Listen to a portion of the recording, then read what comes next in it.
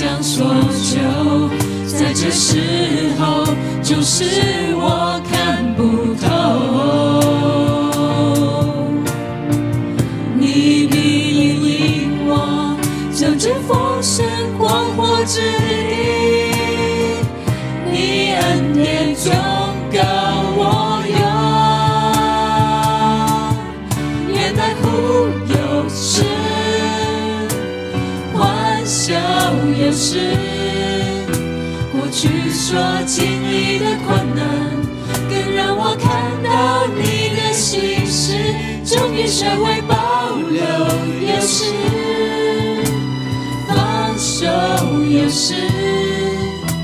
我选择相信你美好不变的应许终于学会保留有时放手有时我选择相信你美好不变的应许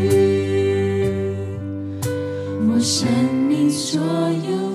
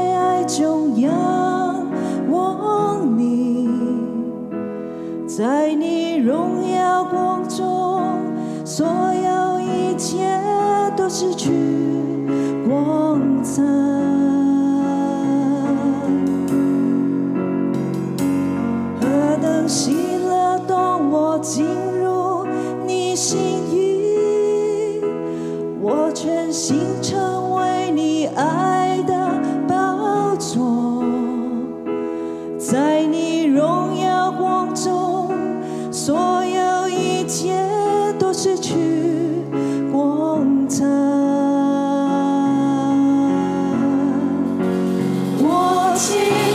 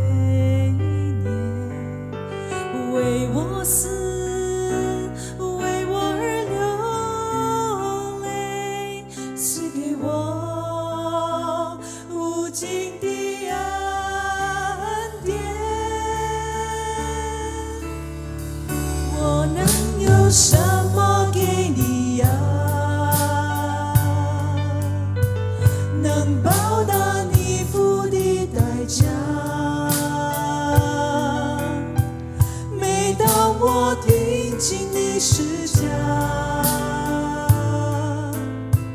眼泪不禁硝烟地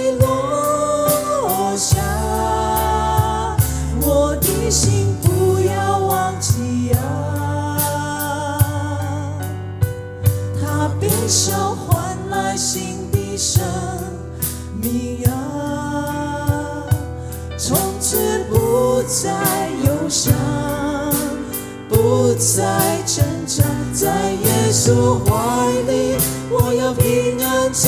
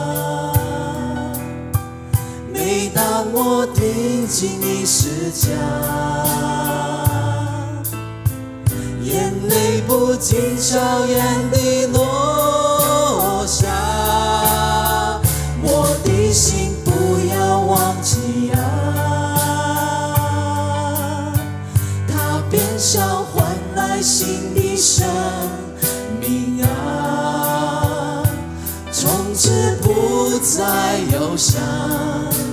不再挣扎，在耶稣怀里，我要平安自由，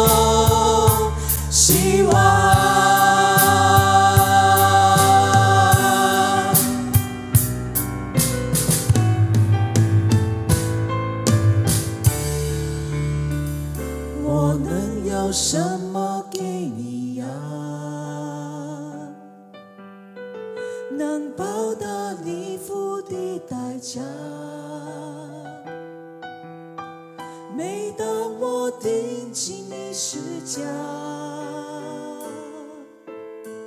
眼泪不禁悄然地落下。我的心不要忘记啊，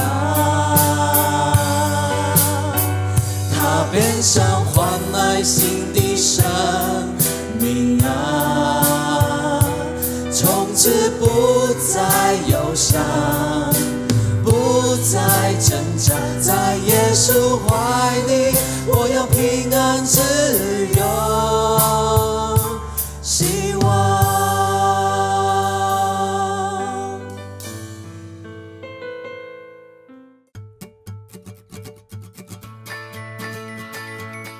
各位弟兄姐妹平安，我是会点教会的梁牧师，欢迎大家跟我们一起在网上崇拜。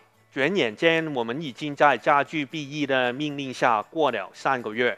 我希望各会等人的忍耐和等待不是白白的去度的。我们可以把握这个机会，继续过可以实践的教会生活。请看看我发给大家和教刊中的六月份意境家书，我会分享教会会重开而做出的准备，希望弟兄姊妹可以留意。这个礼拜六六月二十号就是我们为新校人员家长而设的网上讲座，请大家尽快的报名参加。Hey, Crosspoint Church. I'm Pastor Corwin, and I'm really looking forward to seeing all of you for our Zoom meeting at the our Plum Seminar. This seminar is based upon my book called Plum: A Theology of Sex, and the goal of this book, the goal of this seminar, really, is to equip you as parents and your teenagers with a biblical theology of the four purposes of sex seen in Scripture. God's purposes for sex give us an understanding about what it means to honor Him with our bodies, whether it's in singleness, in dating, or preparing for marriage. And not only that, but I believe it gives us a deeper understanding of the gospel of Jesus Christ. Now, my ultimate goal, my greater goal for you and your teenagers in the seminar is that you all would have a better understanding of the righteousness of Christ that's been placed upon us because we have fallen short of His holy standard. Thanks a lot. I'm looking forward to meeting all of you. I'll see you then. 另外，我们在六月份、七月份跟八月份也是会安排不同的网上聚会， 请大家留意以下的介绍。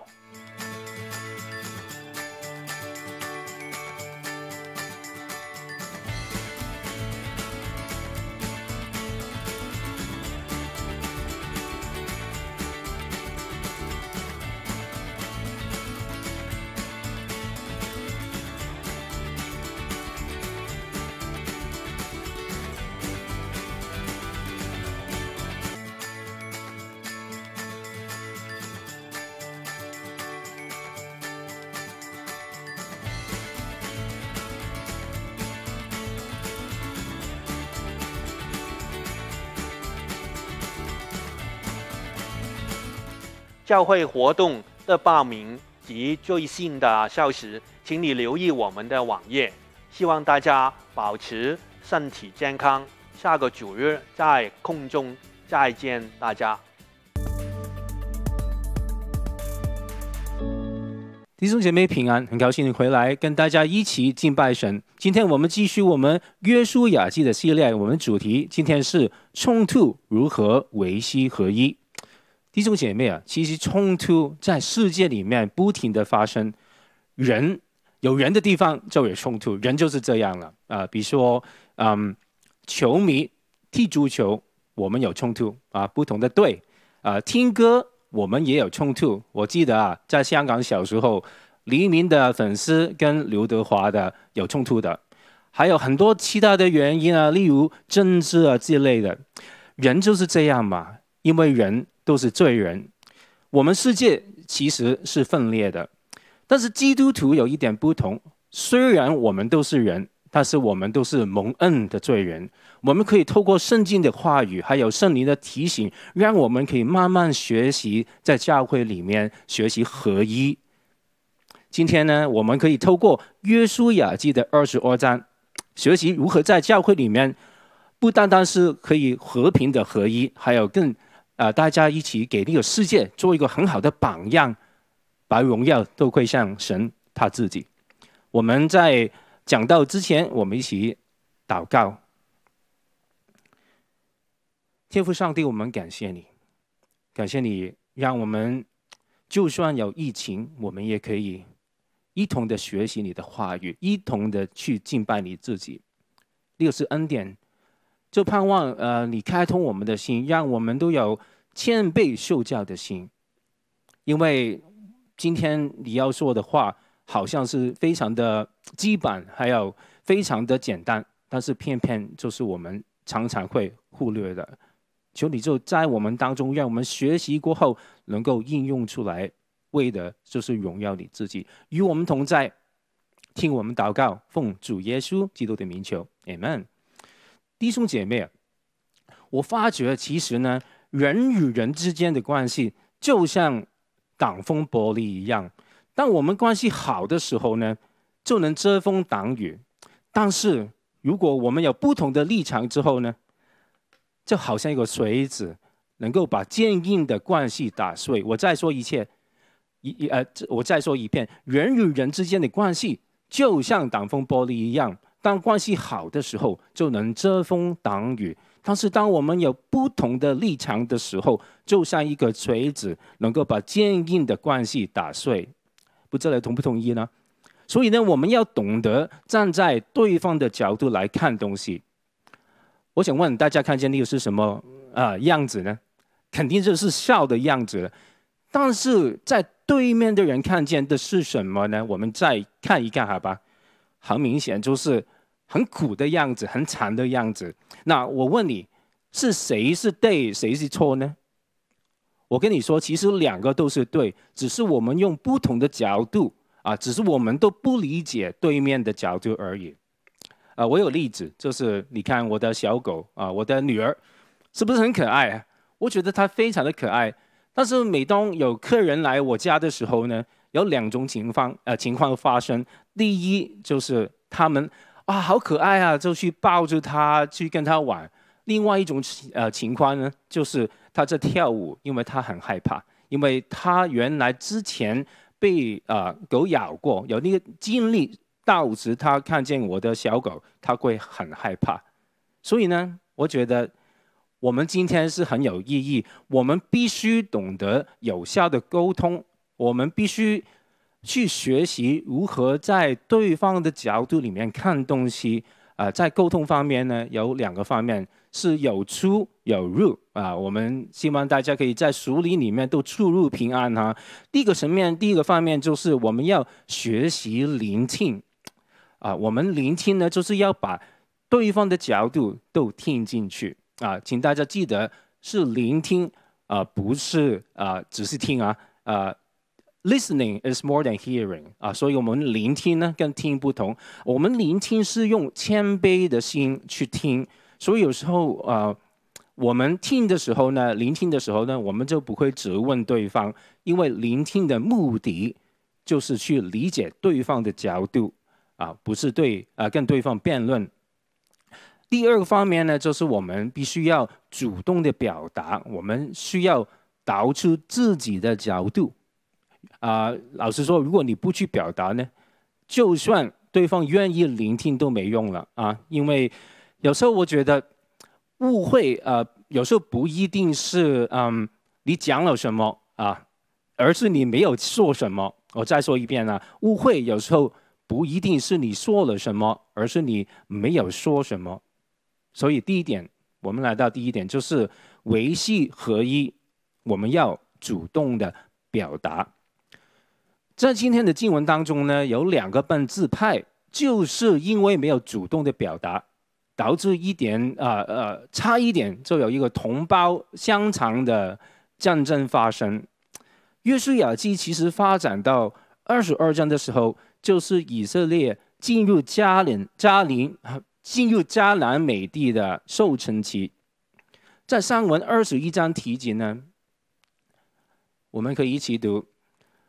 这样，耶和华将从前向他列祖启示所应许的传递赐给以色列人，他们就得了为业，住在其中。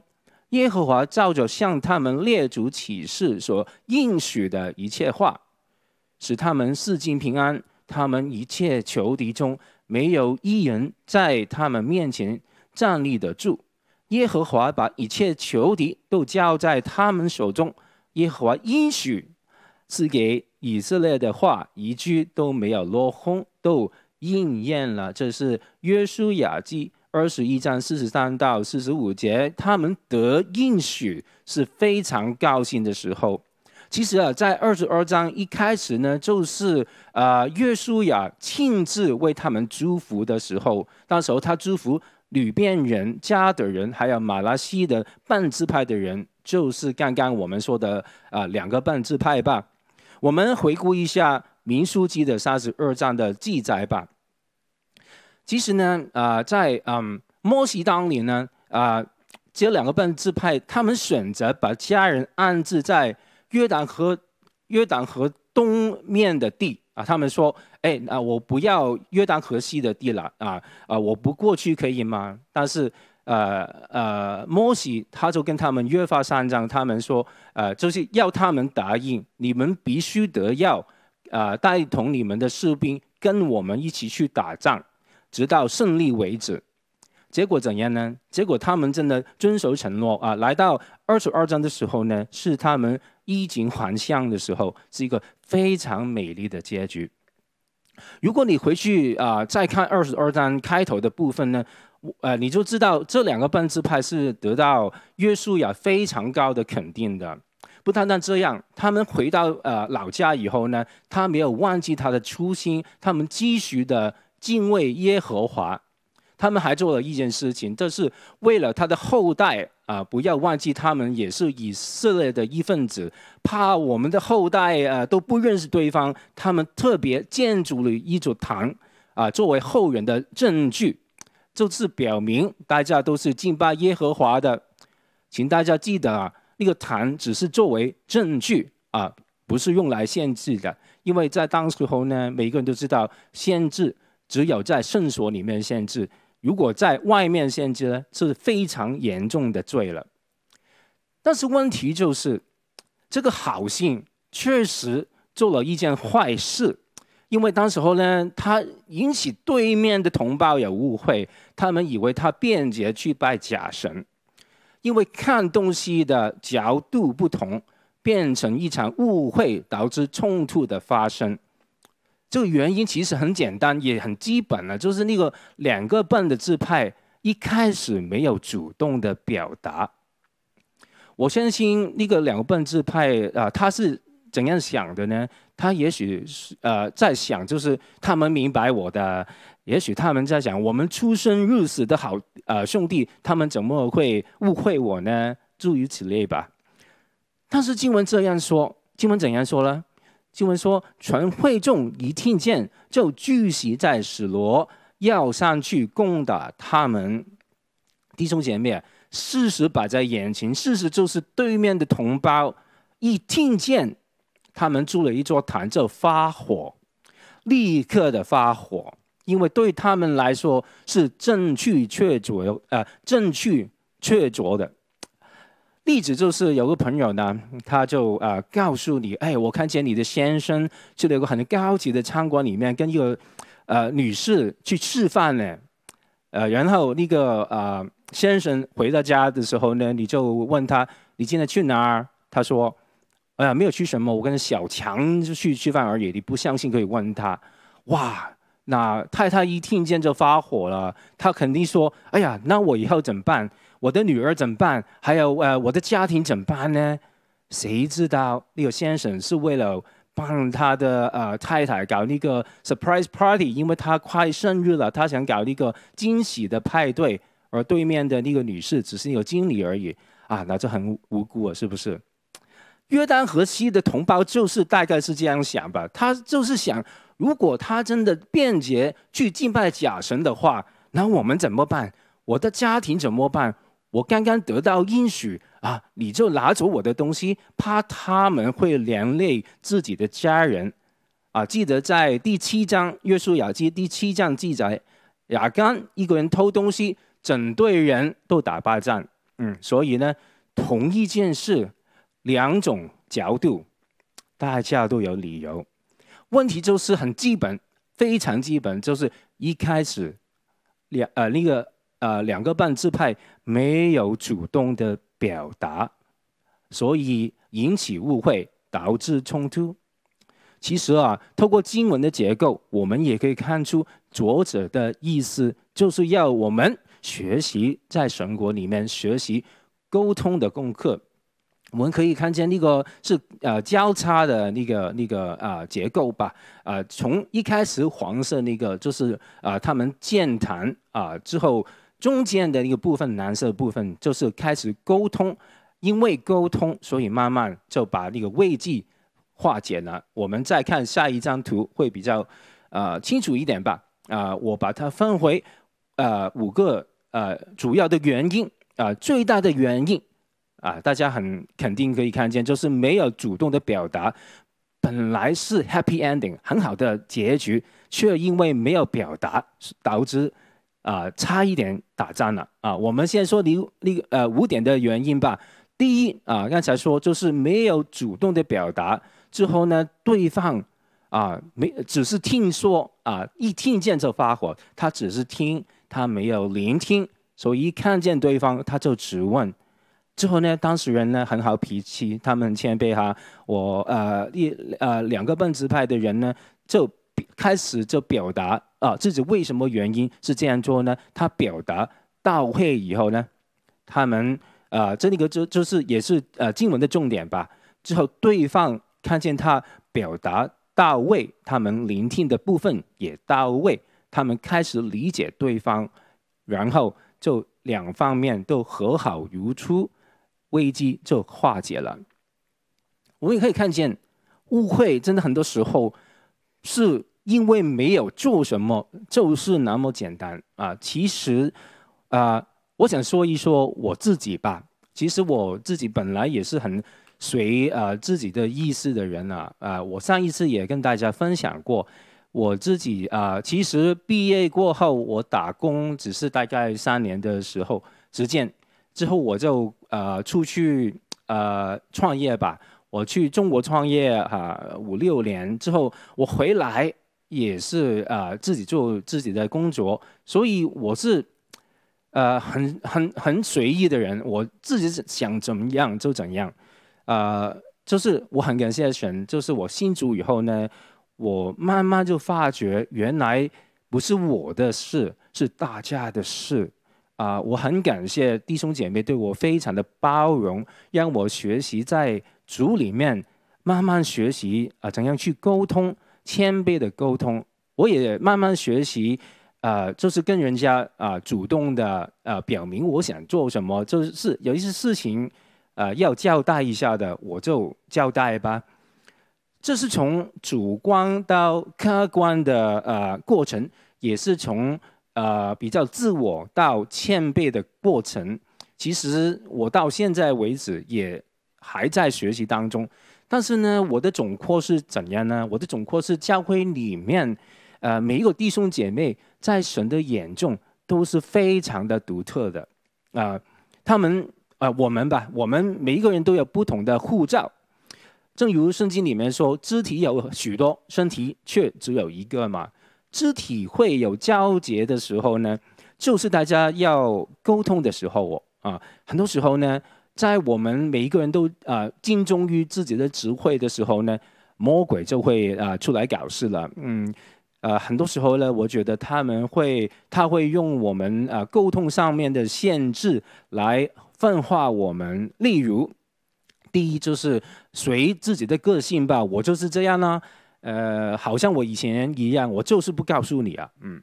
但这就是呢，就算我们肯呃主动的表达，有时候我们也会词不达意哦，讲来讲去，对方也听不明白，是不是？有时候呢，我们呃会呃有态度，但是我们自己不知道的啊、对方就会生气，你也不知道得罪了他们，你也不知道。我应该尝试过，因为有时候老实说，你状态不好嘛，有时候你也许你有一点不舒服、头疼啊，有时候你工作太忙啊、生病啊，你心情沉重啊之类的。所以如果大家有那个情况呢，就 say no，可以啊，先休息一下吧。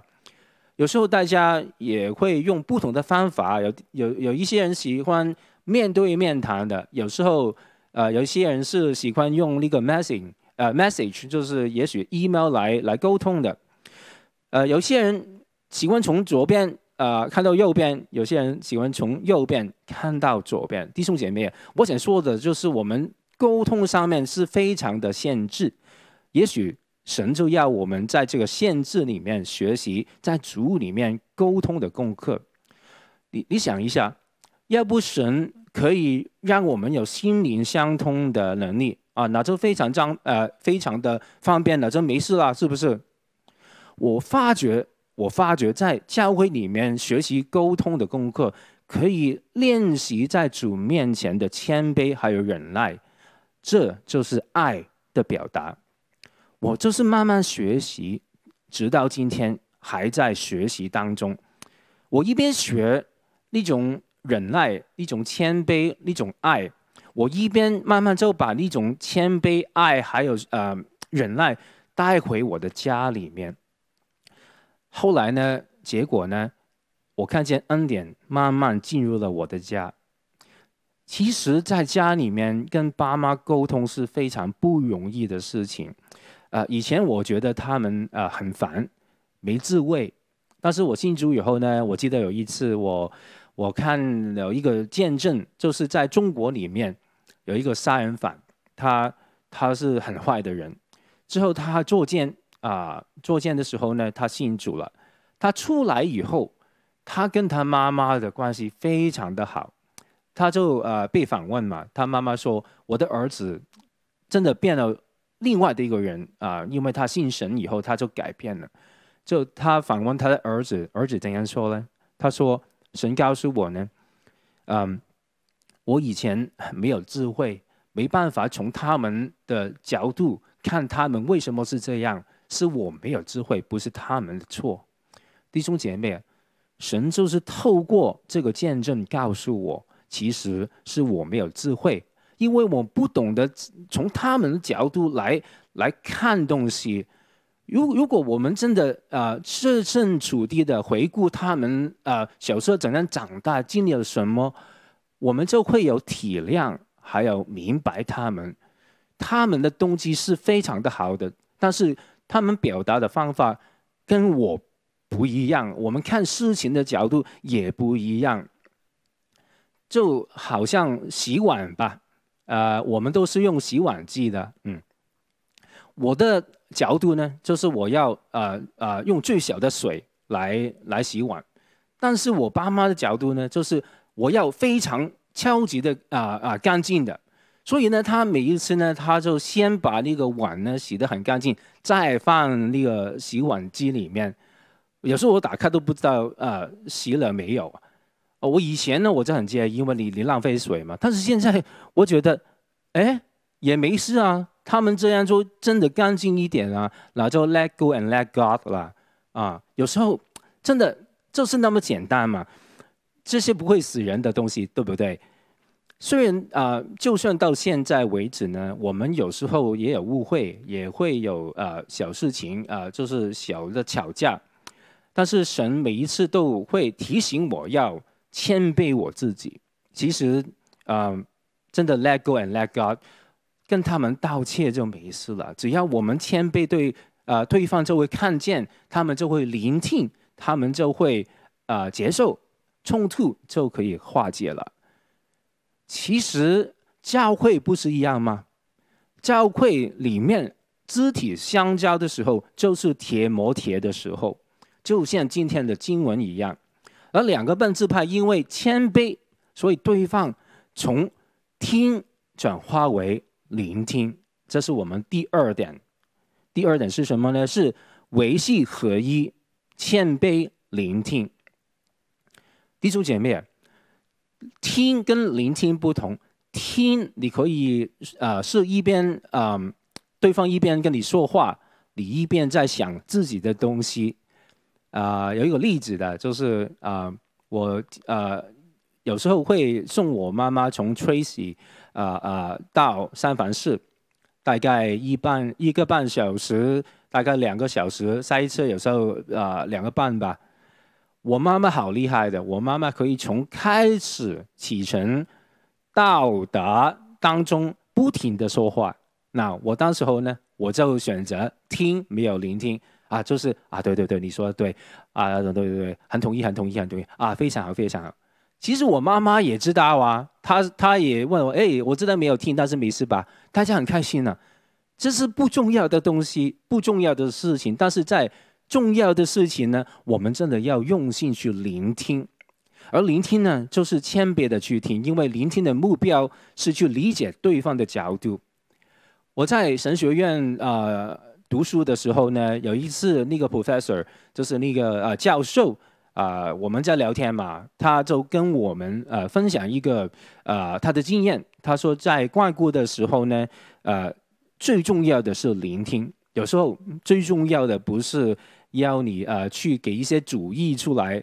老实说，弟兄姐妹都很聪明的，有很多时候他们已经尝试过不同的方法了。他们有时候跟我们只是想抒发一下，呃，有时候想我们跟他们呃同笑同哭一下，就是这样。我们要关心对方，我们要鼓励对方，这是团契嘛。我就把那个聆听的部分记在我的心里面。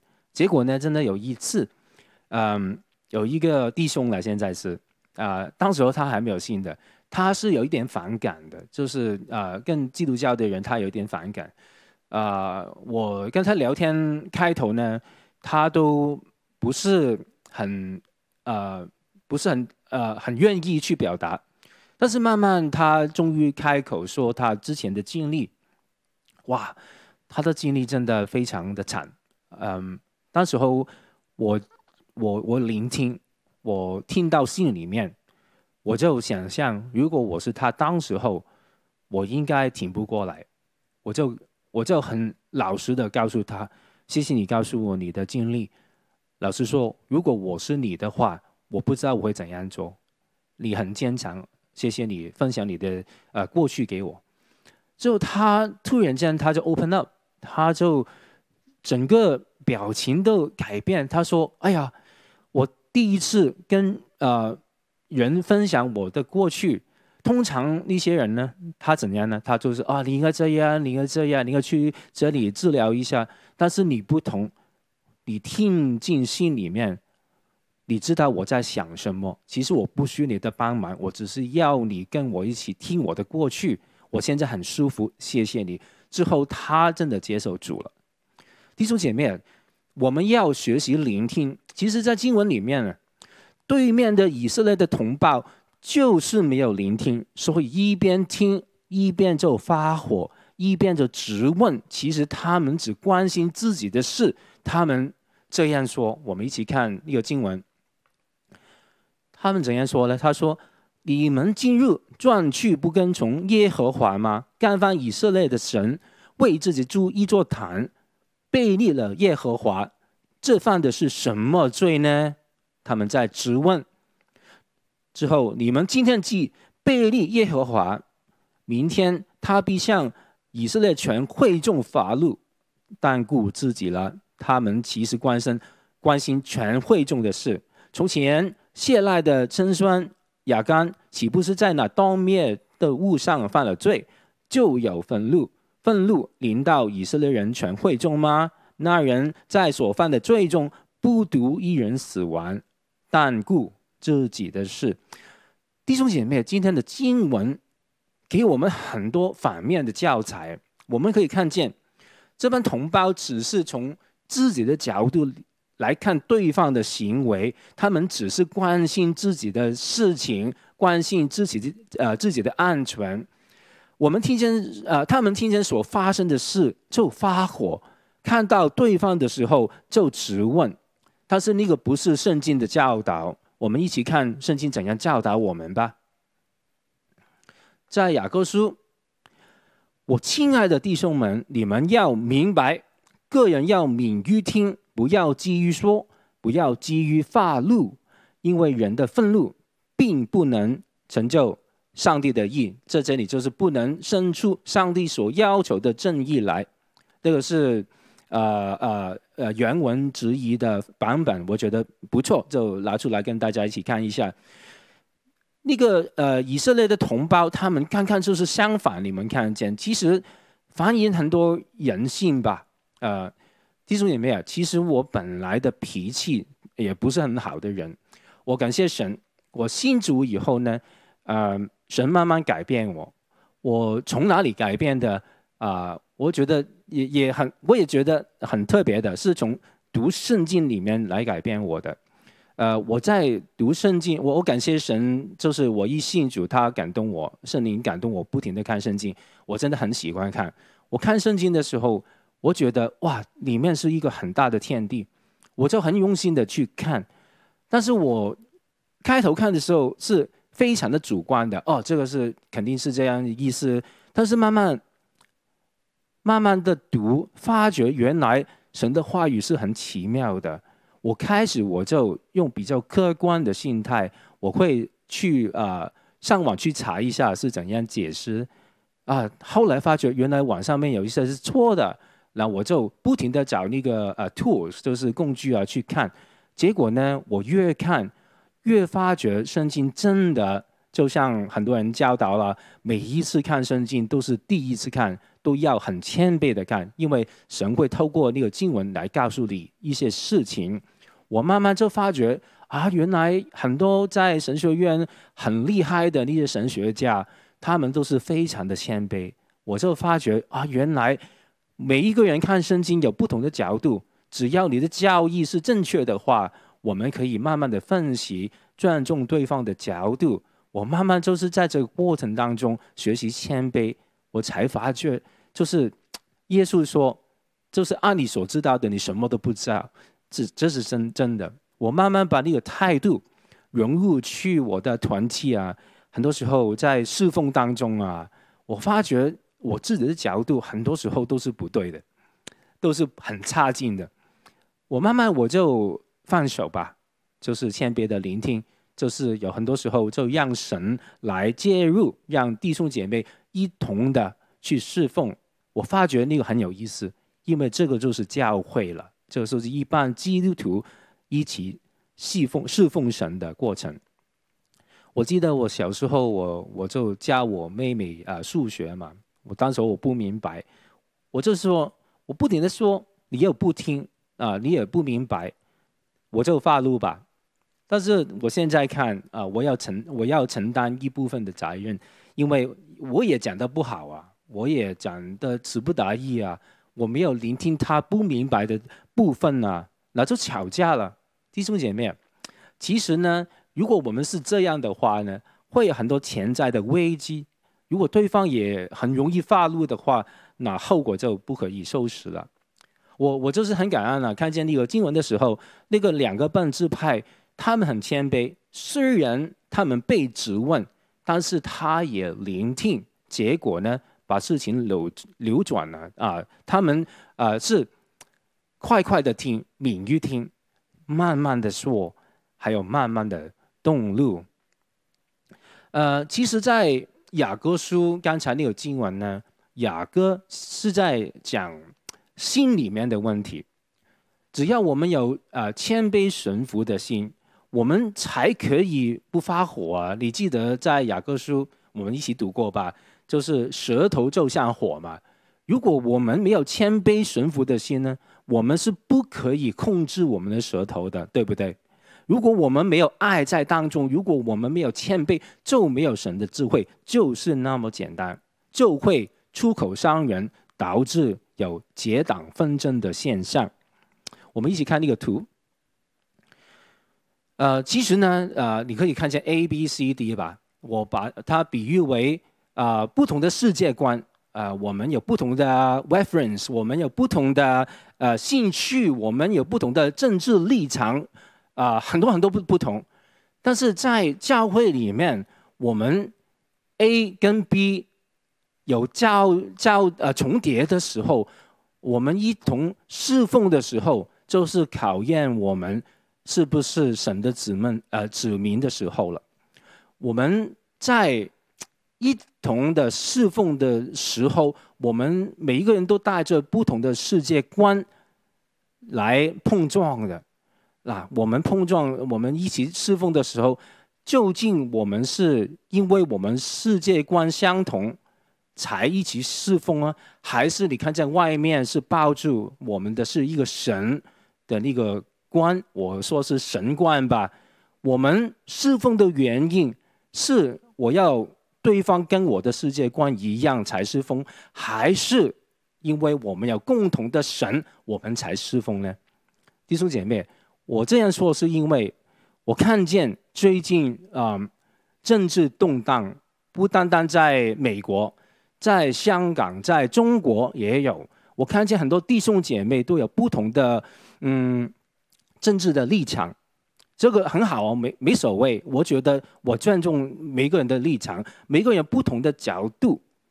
但是有时候我们会把一些角度带过去教会里面。我们在侍奉当中，也许我们在聊天当中，我们有一些态度出来，我们也许不知道。我们要反思，我们反思什么呢？我觉得我们要不要这样想吧？为什么同一个神会让我们有那么多的不同的呢？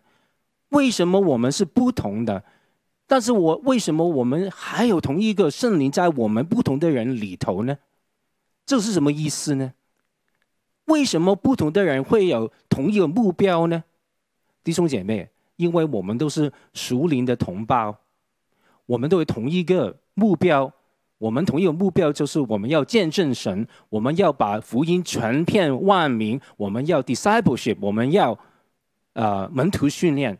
我们不能够单顾自己，我们不能够单顾我们自己的意思，单顾我们自己的立场，单顾我们自己的感受。大顾我们自己的计划，大顾所有所有等等，这个就是教会里面的不同。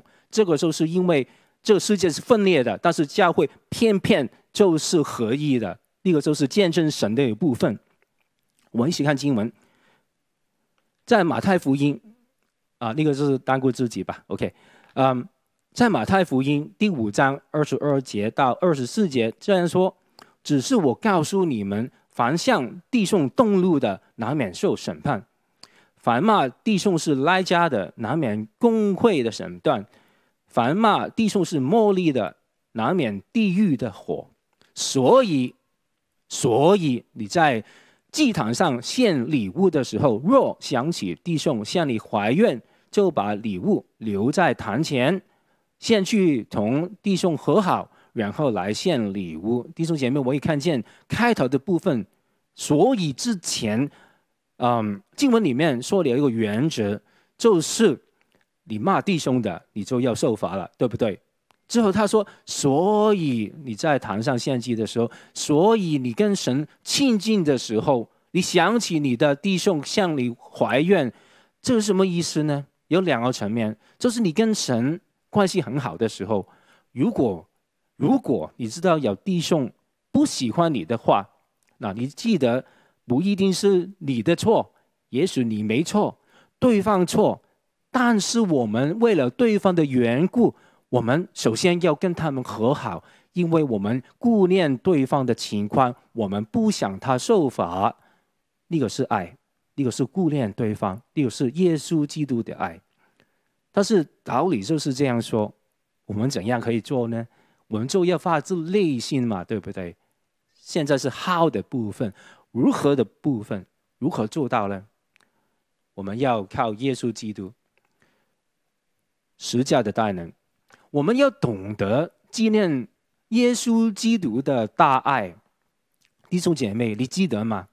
你刚刚信主的时候，你刚刚认罪悔改改的时候，你很感动的时候，耶稣基督怎样去原谅你，怎样去接纳你？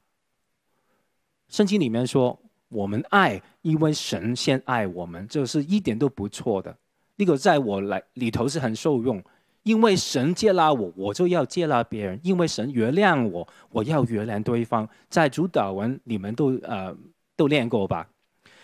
神其实永远都没有放弃过我们每一个人。因为我们在地上面犯罪，神顾念我们，派他的独生儿子来到我们当中。虽然他是神，我们的我们是人，虽然我们都是不同的，但是他也顾念我们。虽然他来到我们当中，丰丰富富的有恩典，有真理。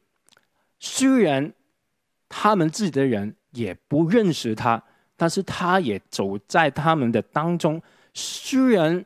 耶稣基督在啊传道的时候，自己的人就是以色列人一些领袖吧，他们不接纳他，但是他怎样？虽然他们看法不同，但是他仍然去要拯救他们。有很多的不同啊。虽然他们在呃上十架之前，他们不停的质问他们，耶稣怎样怎样呢？耶稣还有那个谦卑的心。他不是向人谦卑，他是对神谦卑。你记得在上世架之前，他在祷告的时候，他说：“但愿你的旨意成就。”他在神面前谦卑自己，就算他在石架上面，人家说：“如果你是神的儿子，你就下来吧。”但是耶稣怎样说？他说：“不要啊，怪他们，他们不知道自己做什么，对不对？”虽然被质问、被鞭打，他为我们上十架成就神的事情，那个是谦卑的功课，由何谦卑？直到他死后啊，跟我们的罪就因为这样化解了。他升天，圣灵降临在我们当中。虽然我们是中国人，他。他做人的时候也不是中国人，虽然我们不同，但是他也没有耽顾他自己，他也很爱我们。今天虽然也许你在听那个道的时候，你还没有相信神，但是他已经顾念你了，他很爱你们。就算我们得罪他，弟兄姐妹，就算我们成为神的子民，我们也得罪他。虽然是这样，但是神也没有。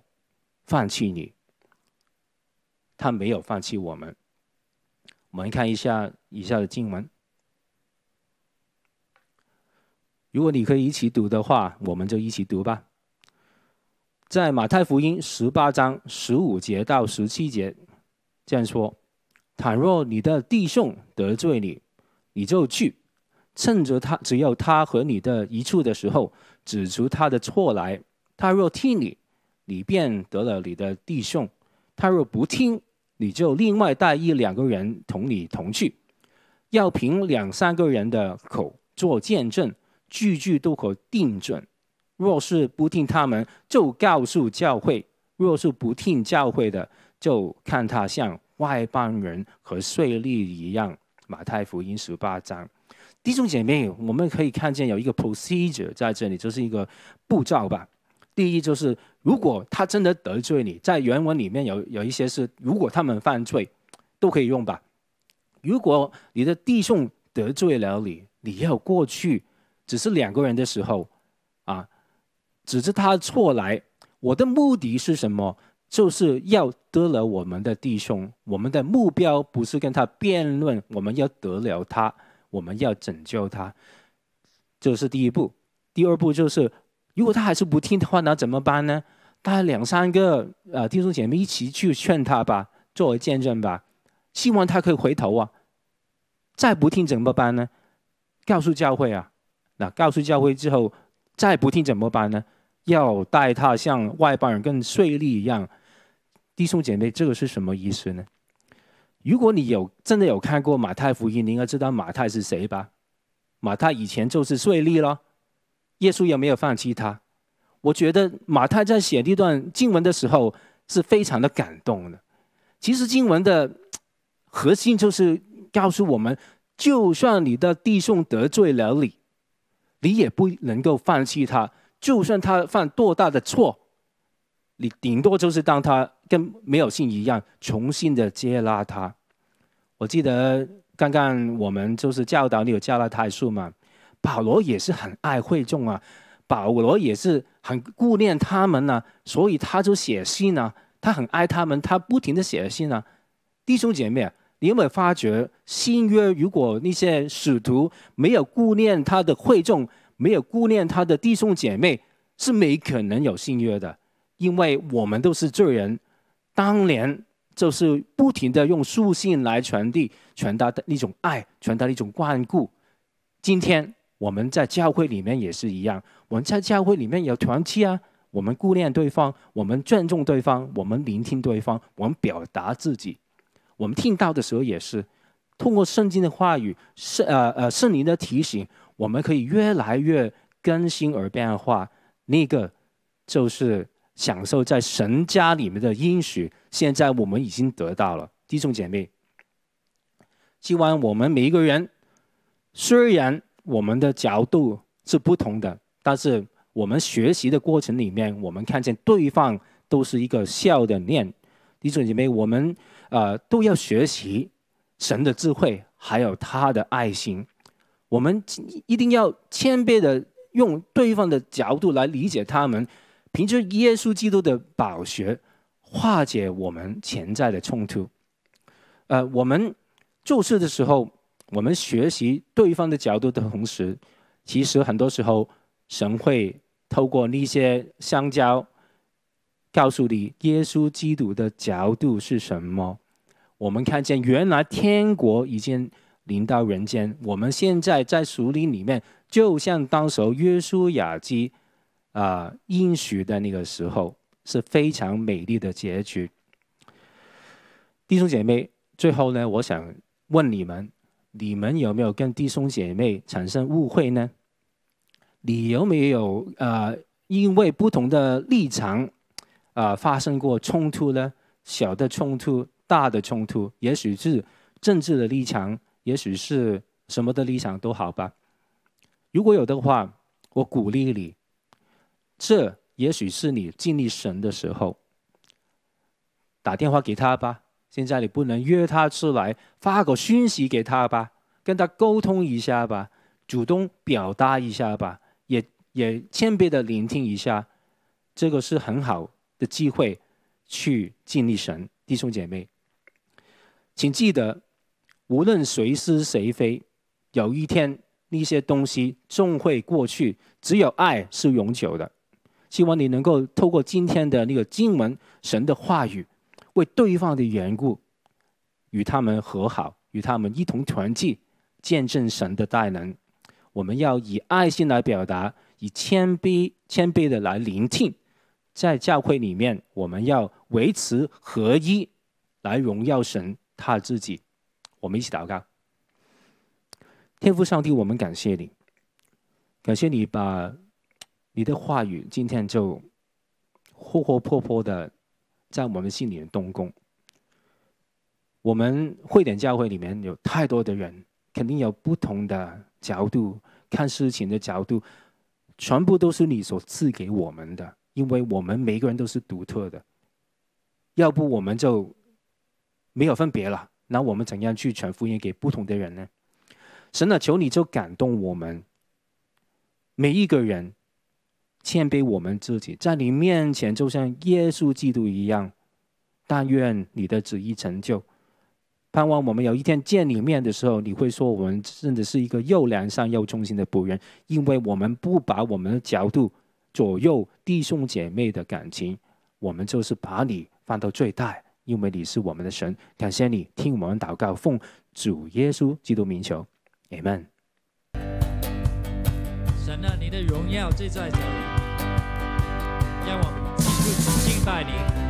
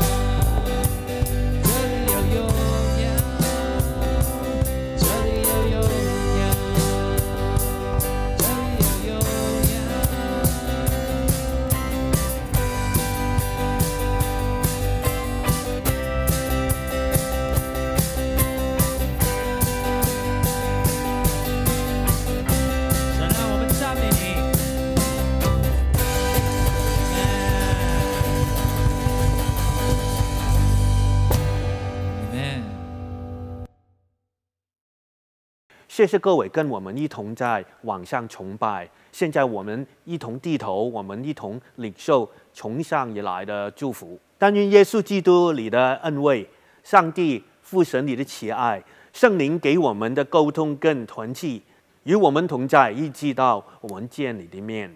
Amen。